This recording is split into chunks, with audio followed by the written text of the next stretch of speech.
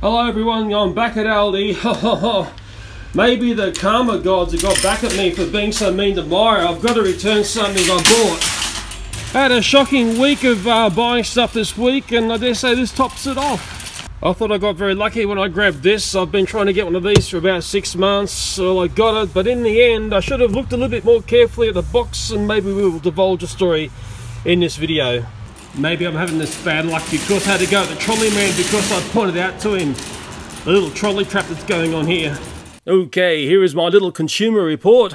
Because I wasn't given this item, I had to buy it from Aldi for $299 of the Cocoon Create Model Maker 3D printer, which apparently is a rebadged Wanhao printer of some variant. The experts can tell me which one it is. Yes, maybe I should have looked more carefully at the box before I picked it up at a store. I did have a choice of one other, uh, when I purchased this, another person had grabbed the two options that were there. And I did wander to another Aldi store, the one at Hornsby Westfield. I noticed there were lots of the printers sitting in there, so this printer didn't seem to be as popular as that $500 printer from six months ago. And that $500 was the $500 that became Bitcoin money for me under a Bitcoin experiment. Maybe I should have put the $299 of this printer into Bitcoin from what I see going on. Now the first thing I will address here is why do you need a 3D printer and I nearly didn't buy this. It wasn't until my very nice YouTube friend who's a personal friend as well and I got to know over the years who's heavily into 3D printers, he said to me buy it as an educational thing for your children. That's why I bought this printer. And the one thing I noticed was both my children who are very different ages were both very excited to see a 3D printer in the house. They seemed to connect to this far better than I did. I can tell you it was a very easy printer to set up, but I did notice there was a bit of a problem with the SD card reader slot. It was, well, let's just say dysfunctional.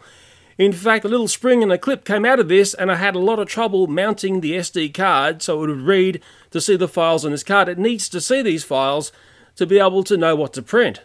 After several attempts of getting the card to be seen by the printer and resetting it and trying everything that I could, I finally got the SD card to mount so the printer could see the files the pamphlet that came with the printer suggested to make a cute dragon. I did so, but I only had the small spool of black filament there, and then I had to quickly learn how to pause a print and put a bigger spool on. It was a great learning curve. I learned lots of things in the short time that I had this printer, but I also learned that, uh, well, maybe you need a 3D printer which has a heated bed. This printer doesn't have a heated bed, and it becomes problematic when you start to do other styles of prints.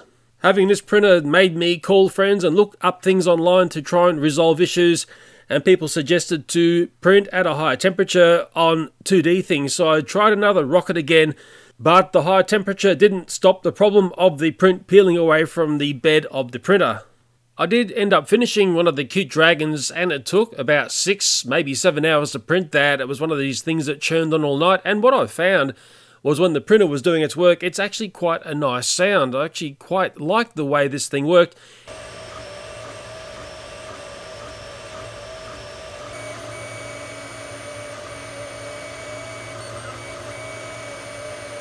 To me, it felt like it had a quality build, but as I've seen so many times with things that come out of China, you can have one defective piece in the build and it renders the whole unit totally useless.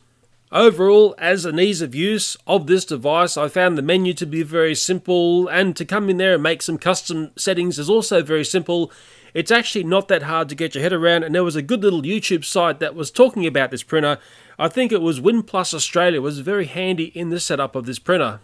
From what I was reading online about this printer, I think it's a little bit of a toy, and I'm trying to say that in the nicest way. It's probably the perfect printer to start off with to get a feel for what's going on here but maybe spending a little bit more money and buying something a little bit more high end would be a much better thing to do. So if there is ever another next time I buy one of these 3D printers from Aldi, I will be taking a much more careful look at the box before I pull it out of store. I noticed there were cut marks across the top of the box, cardboard missing. I also noticed there was tape over tape. This box has been got into before. It started to feel like it had been reboxed, and inside I didn't see the cable ties around the bed of the unit as I saw on the WinPlus YouTube videos in their unboxing. I highly suspect this unit has been out of the box before and reboxed. That was my gut feeling once I started to see what was going on and the way the box had been cut and opened before. For me, it really topped off what was a shocking week of retail messiness as I seem to stumble across in Australia all the time.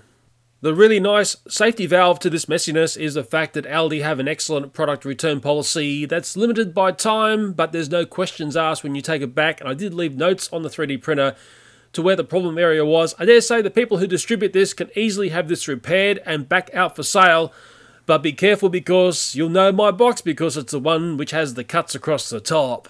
I know, I know, you're asking, Leo, the trolley trap, is it still there? Let's take a look. Well, down in the trolley bay, the one which is the only other trolley bay down in the car park, it is still set up. Apparently they are damaged trolleys, and there's no way to return the trolley to that one there because the little key bit's missing. We've got like a foreign ringing trolley here, and there's more and more rubbish being stacked up in this trolley here. It just gets more fantastic by the day. And yes, that little propane butane cylinder is still here. I was only joking when I said I was going to take it home. It's still laying here. There's still hope yet. Maybe one day this will be sorted out. I'm a trendsetter because I like to use the area nobody else uses. Oh, that's weird. Okay, so that, you can't use that. That's a bit of a trap, isn't it? Hey, so then it makes you go back here. Wow, this really is a trap. Look at this.